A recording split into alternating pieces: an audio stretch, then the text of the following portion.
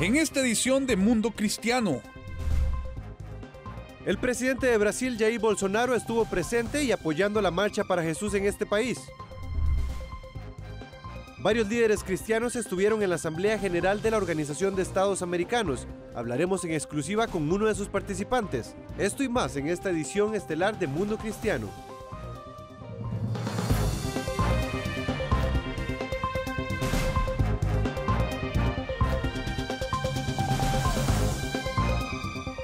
Le damos la más cordial bienvenida a esta edición de Mundo Cristiano. Soy Beatriz Rojas y comenzamos con los hechos que son noticia esta semana. Tal y como veíamos en titulares, los miles de brasileños que asistieron a la Marcha para Jesús 2019 fueron sorprendidos por la participación del presidente de Brasil, Jair Bolsonaro. Veamos de inmediato. Como una gran marea blanca, miles de brasileños desfilaron por las principales calles de Sao Paulo en la anual Marcha para Jesús. Los asistentes de la movilización fueron sorprendidos por la visita del presidente de Brasil, Jair Bolsonaro, quien marcó la primera vez que un presidente brasileño asiste al evento religioso. Es bueno estar entre amigos. Y aún mejor cuando esos amigos tienen a Dios en su corazón. Durante su intervención, el mandatario dejó en claro su posición religiosa. Un presidente que dice que el Estado es laico, pero él es cristiano. Esta no es la primera vez que el mandatario asiste a la Marcha para Jesús. Él acudió el año pasado como candidato presidencial con una campaña cuyo lema era Brasil por encima de todo, Dios por encima de todos. Él prometió regresar como jefe del Estado si ganaba. Ustedes fueron decisivos para cambiar el destino de este maravilloso país llamado Brasil. Todos nosotros, juntos, compartimos esta responsabilidad. Donde primero es Dios y después las familias respetadas y tradicionales por encima de todo. Los evangélicos no dejan de aumentar en Brasil. Rondan el 30% de los 190 millones de habitantes. La bancada de parlamentarios evangélicos tampoco deja de crecer. Bolsonaro tiene mucho que agradecer a los evangélicos, que en las urnas pusieron mayoritariamente su fe en él. Según el diario El País, el 68% de los evangélicos votaron por Bolsonaro frente al 50% de los católicos. La misma noche de su victoria, Bolsonaro tuvo el primer gesto al protagonizar una oración televisada con un pastor. Con él, buena parte de la agenda de este colectivo, insisten los expertos, ha llegado a la cima del poder. Todos saben. Todos ustedes saben que nuestro país tiene serios problemas éticos, morales y económicos. Pero entendemos que podemos cambiar eso. Podemos ser el punto de inflexión. Podemos ser el punto de cambio y algún día colocar a Brasil en el lugar distintivo que merece. Durante el discurso, Bolsonaro llevó una bandera de Israel y estuvo acompañado por el embajador de ese país, Joshi Shalei. Bolsonaro no solo tiene una buena relación con Israel, sino también muchos grupos evangélicos se confían en su ideología conservadora. La marcha, que incluye tiempos de alabanza y adoración, es uno de los eventos evangélicos más grandes de Brasil. Stephanie Sánchez, Mundo Cristiano. Luego de ver esta información, vamos a conocer hechos que han sido noticia en las últimas horas. Para eso hacemos contacto con nuestra compañera Stephanie Sánchez. Muchas gracias Beatriz y así como usted lo indica, hacemos de inmediato un repaso por las últimas noticias de la Iglesia alrededor del mundo. Desde la Asamblea Legislativa de Costa Rica se realizó el lanzamiento oficial de la Asociación de Médicos por la Vida Internacional, según Laura Castro Niño, la secretaria médica por la vida, la misión de la organización es promover y proteger la vida humana desde la concepción hasta la muerte natural, basados en el fundamento de la ciencia médica, la bioética y la ley natural. Esta iniciativa busca reunir a las diferentes organizaciones pro vida y profesionales en la medicina a lo largo de Latinoamérica para capacitarlos y fortalecer los principios de la protección de las dos vidas desde un criterio médico. Entre los países que participan están Argentina, Colombia, Costa Rica, Guatemala, Ecuador, Estados Unidos, El Salvador, México, Uruguay, Paraguay y República Dominicana. Diferentes representantes de la Iglesia cristiana defendieron enérgicamente los principios bíblicos, en especial la vida desde la concepción y la familia, durante las sesiones de la Asamblea General de la Organización de los Estados Americanos, OEA, en Medellín, Colombia. Entre los expositores se encontraban destacados pastores y representantes de organizaciones pro vida y familia. En total fueron 95 organizaciones evangélicas. Parte de los ponentes en la OEA fueron el pastor Gilberto Rocha y su esposa, Clara de Rocha, del Centro Cristiano Calacuaya y Aarón Cortés de la Iglesia Cristiana Interdenominacional. Según comentaron a Mundo Cristiano, estuvieron hospedados en el mismo hotel donde están dos grupos LGBTI. Estas fueron parte de sus declaraciones. Cuando nos comprometemos con la familia, estamos promoviendo un valor de progreso, de futuro, porque no hay progreso con familias desintegradas ni con niños a los que se les hace dudar de su identidad. Esta es toda la información por el momento. Beatriz, usted continúa con más noticias. Gracias, Stephanie. Recuerde que estas informaciones usted las podrá encontrar en nuestro sitio web mundocristiano.tv. Ya regresamos. Mundo Cristiano te acompaña en todo momento. Infórmate al instante de los acontecimientos más relevantes del mundo desde una perspectiva cristiana. En Facebook, Twitter, Instagram y YouTube. Síguenos como Mundo Cristiano.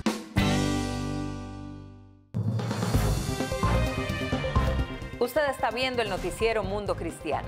Para nosotros es un placer informarle sobre lo que está haciendo la Iglesia alrededor del mundo. Vamos con más noticias. La Corte Suprema de los Estados Unidos emitió una decisión vital que permite el uso de símbolos religiosos en la vida diaria estadounidense. En la siguiente nota le explicamos de qué se trata. La pregunta era simple, si un monumento en forma de cruz en Maryland podía o no permanecer en vía pública. Un grupo de ateos querían que la cruz fuera reubicada en propiedad privada o se convirtiera en un monumento no religioso, como una losa o un obelisco, ya que una cruz gigante supuestamente mostraba parcialidad por parte del gobierno hacia una religión. A diferencia de lo que el gobierno dijo aquí, la cruz no es un símbolo universal del sacrificio. La cruz simboliza la historia de la resurrección de Jesucristo, una historia que no se comparte fuera del cristianismo. Los defensores temían que esto fuera el comienzo de una segregación hacia el cristianismo en todo el país. Porque la limpieza religiosa continuará en todo el país, con memoriales y símbolos en todo nuestro territorio nacional. Podrían comenzar con el Cementerio Nacional de Arlington, donde hay dos grandes cruces independientes que tendrían que ser bajadas y luego irían a todas las comunidades de todos los estados de este país. Tras la discusión, los jueces decidieron, con siete votos a dos, a favor de los partidarios de la cruz, por lo que ahora es la Corte Suprema la que dictaminó que la cruz de casi 100 años de antigüedad que se encuentra en vía pública no viola la cláusula del establecimiento de la primera enmienda. Tras la decisión del tribunal, el monumento de la Primera Guerra Mundial puede permanecer en los terrenos públicos en Bladensburg, Maryland. Una victoria para la libertad y un recuerdo que permanecerá para los familiares de los caídos de la Primera Guerra Mundial. Mi tío, su nombre está en la cruz. Cada vez que paso por esa cruz, pienso en mi tío, y derribarla sería como profanar un memorial para un veterano caído. Informó Kevin Valverde, Mundo Cristiano. Hace unos minutos vimos algunas de las intervenciones que un grupo de valientes líderes cristianos dieron en la Asamblea General de la Organización de Estados Americanos. Este evento se realiza en Medellín, Colombia y ha estado permeado de un gran interés ideológico hacia los temas de género y libertades sexuales. Algunos de los representantes han estado dando la lucha y han mostrado sus inquietudes en cuanto a los temas de ideología y de aborto. Una de las participantes, la pastora Milagros de Aguayo, estuvo ahí Antes de conversar con ella, veamos un extracto de su participación.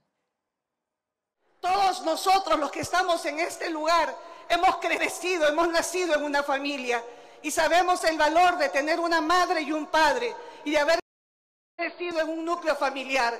Cada uno de nosotros puede poner el valor a un hijo y sabemos que no hay nada que se pueda asemejar al tener una buena familia. La familia natural está en peligro de extinción. Y esto pone en peligro la seguridad y el bienestar y el desarrollo de nuestros pueblos.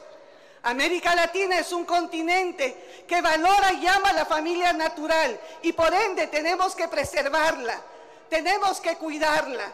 La solución para nuestro continente no es debilitar a la familia, sino fortalecer el núcleo de mayor protección para el ser humano ese núcleo de protección que es el poder crecer con un padre y una madre y poder tener el amor de hermanos. Ese tesoro humano no lo podemos desaparecer de la faz de la tierra porque estaríamos perdiendo el valor de la humanidad. Yo les pido, por favor, que veamos y hagamos acciones que protejan a la familia de América Latina. Soñemos por un continente, salvemos a la familia.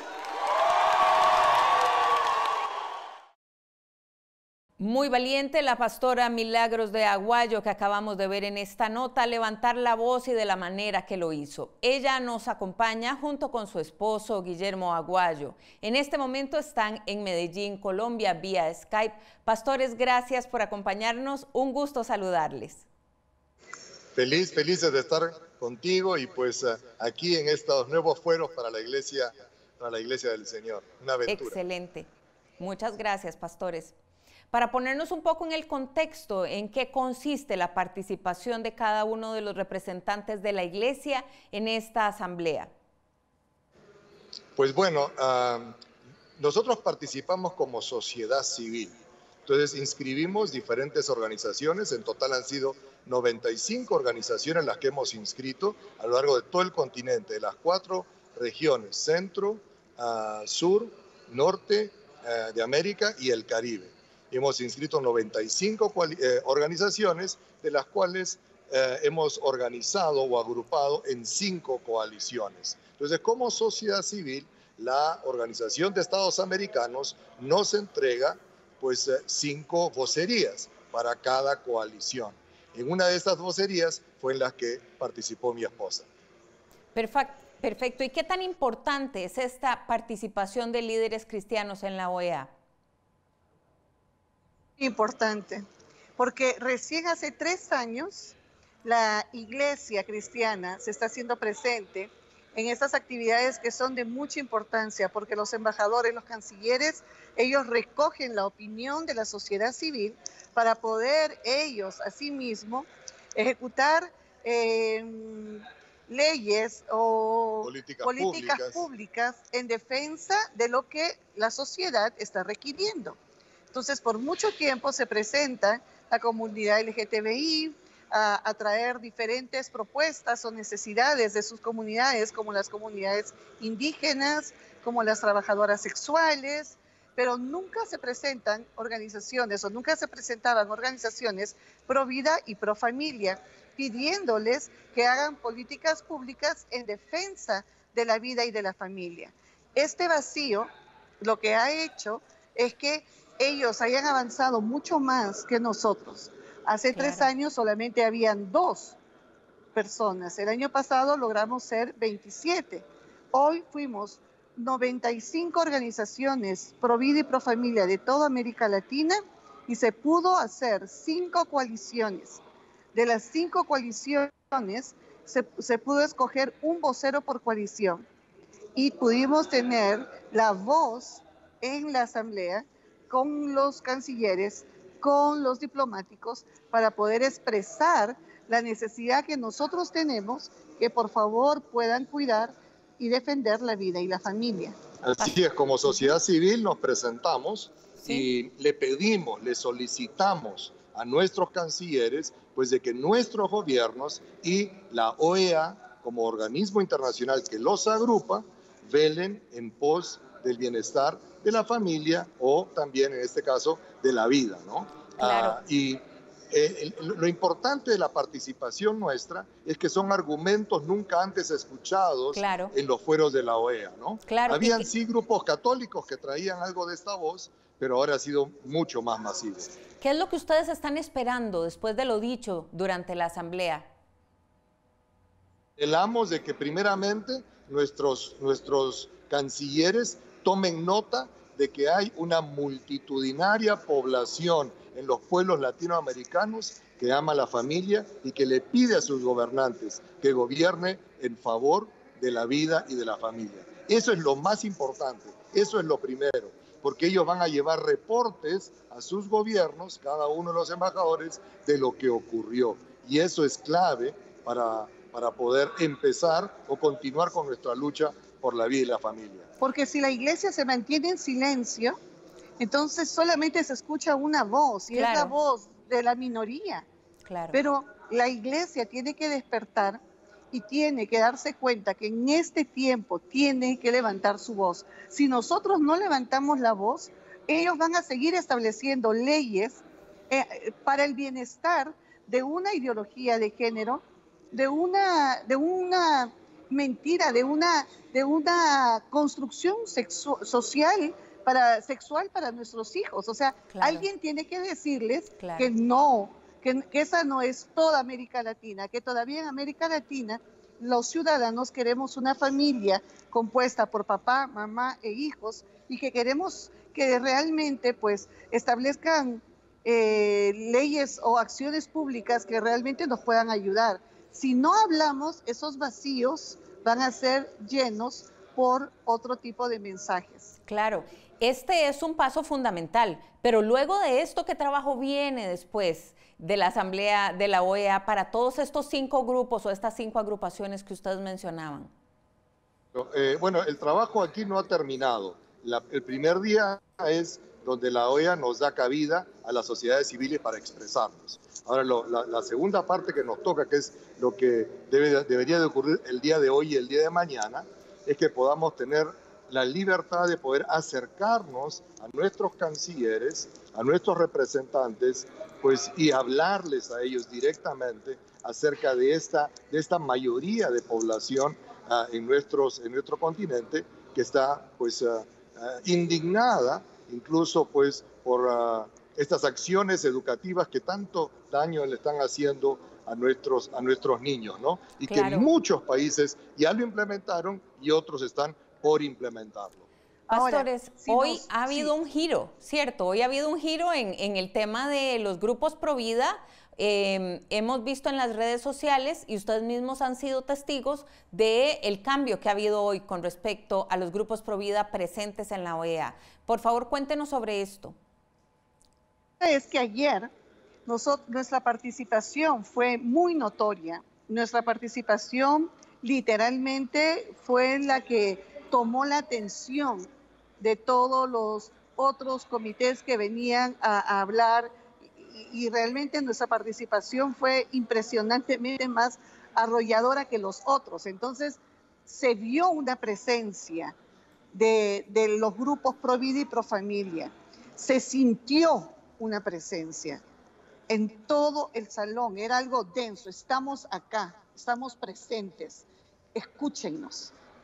A raíz de esto, hoy día en la mañana, que se supone, como dijo Guillermo, teníamos que venir para poder hablar con los cancilleres, eh, ver, esperar el momento que se pongan de pie, que caminen por, algún ratito, acercarnos y decirles, mira, somos peruanos, somos guatemaltecos, somos argentinos, porque nos hemos dividido entre las 150 o más personas que estamos acá, nos hemos dividido para que cada uno pueda hablar con determinados cancilleres eh, entonces, se supone que lo normal hubiera sido que nos acerquemos y hablemos, pero hoy desde temprano llegó Aaron Lara, que es nuestro, que el presidente del Congreso Iberoamericano de, por la vida y la familia, y lo primero que hicieron fue quitarle la credencial. Se la quitaron. Y cuando él pidió explicación, no le dieron ninguna explicación. Luego sale alguien de adentro y le, le pide disculpas, le da la credencial y lo deja entrar y lo escoltan hasta adentro.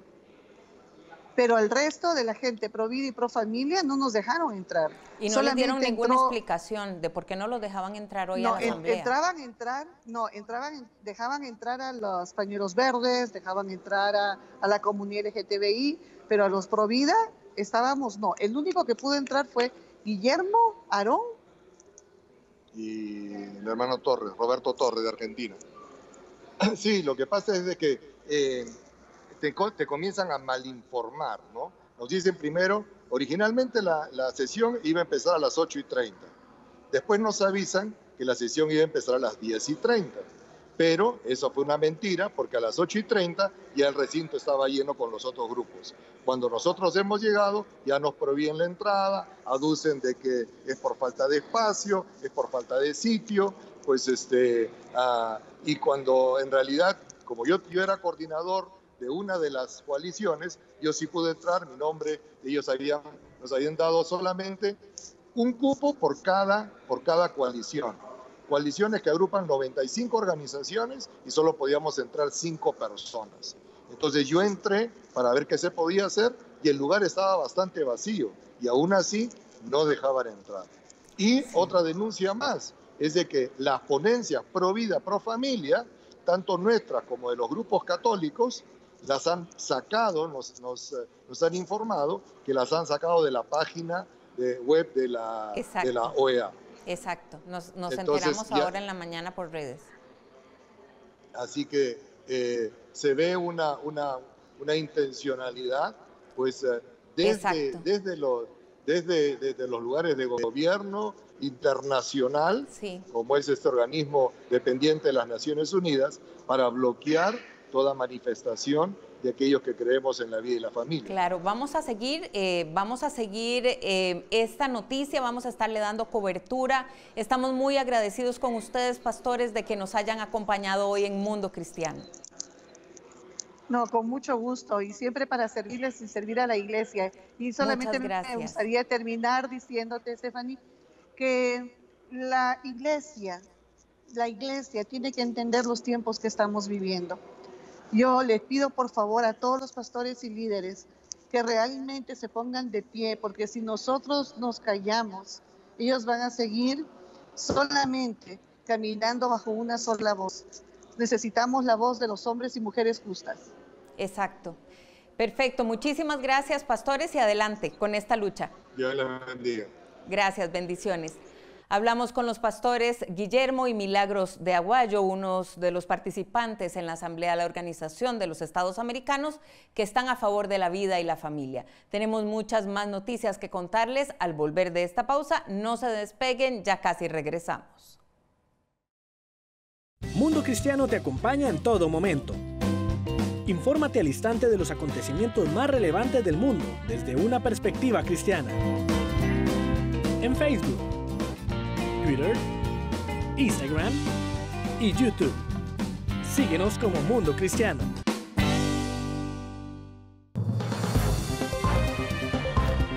Gracias por continuar con nosotros. En Ecuador se vive un momento tenso luego de la legalización del matrimonio igualitario. Mientras algunos celebran, otros se toman las calles de manera pacífica para marchar contra esto. Nuestra corresponsal, Josabeth Carchi, nos informa. Una multitudinaria marcha a favor del modelo familiar tradicional y en contra del matrimonio igualitario se realizó en Guayaquil, puerto principal del Ecuador.